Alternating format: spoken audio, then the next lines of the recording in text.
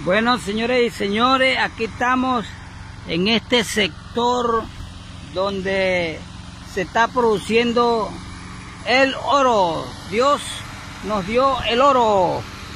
Aquí estamos viendo en este momento los trabajadores que están aquí en este esfuerzo, haciendo un esfuerzo tremendo para que se haga la voluntad de Dios con respecto a lo que es el sacar el oro. Por este caminito vamos a salir hacia aquel sector.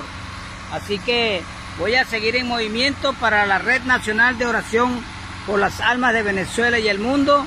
También para el grupo de Freddy, para el Ministerio ANSEBEN, Asociación Ministerial de Cristianos Evangélicos de Venezuela.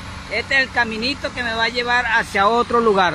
Dios le bendiga, Dios le guarde en gran manera.